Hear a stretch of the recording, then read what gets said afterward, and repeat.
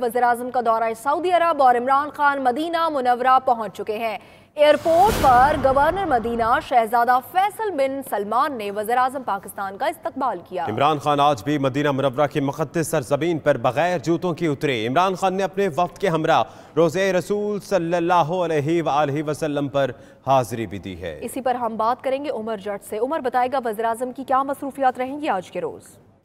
جی بالکل، وزیر اعظم عمران خان سعودی عرب کے دو روزہ سرکاری دورے کے پہلے مرحلے میں آج مدینہ منورہ پہنچے اور جہاں پر وہ سعودیہ کا جو دورہ ہے، اس میں مستقبل میں سرمایہ کاری کے جو مواقع کے حوالے سے انٹرنیشنل کانفرنس ہو رہی ہے، اس میں شرکت کریں گے، مدینہ منورہ پہنچے اور جس طرح ماضی میں وہ گزشتہ انہوں نے سعودی عرب کا دورہ کیا تھا ننگے پاؤں وہ جہاز سے اترے، اس دفعہ بھی وزیر اعظم عمران خان ننگے پاؤں ہی مدینہ منورہ کی سرزمین پر انہوں نے قدم رکھا اور اس کے ساتھ ہی جو وہاں پر گورنر ہیں مدینہ منورہ کے انہوں نے استقبال کیا اور سعودیہ کے سفیر نواف المالکی بھی اس موقع پر موجود تھے۔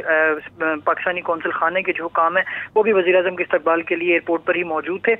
وزیر اعظم اب سے تھوڑی دیر پہلے انہوں نے روزہ رسول پر حاضری دی ہے، اور وہاں ان کے ہمراہ وفاقی وزراء شاہ محمود قریشی، اسد عمر وزیر اطلاعات فواد چودھری، اور مشیر برائے تجارت عبدالرزاق داؤد، اور جو سرمایہ کاری بورڈ کے سربراہ ہیں ہارون شریف وہ بھی وزیر اعظم کے ہمراہ ہیں اور اپنے اس وقت کے ہمراہ ہی روزہ رسول پر وزیر اعظم نے حاضری دی انہوں نے نوافل بھی ادا کیے نماز بھی پڑھی اور اب یہاں سے جو ان کا پروگرام ہے وہ مدینہ منورہ اور اس کے بعد پھر وہ اس انٹرنیشنل کانفرنس جو ہے اس میں شریک ہوں گے۔ اس کے ساتھ ساتھ جو سعودی حکام ہیں ان کے ساتھ بھی ان کی ملاقات متوقع ہے جس میں وہ پاکستان میں سرمایہ کاری اور جو معاشی صورتحال ہے اس کے حوالے سے اہم ملاقاتیں بھی کریں گے۔ جی۔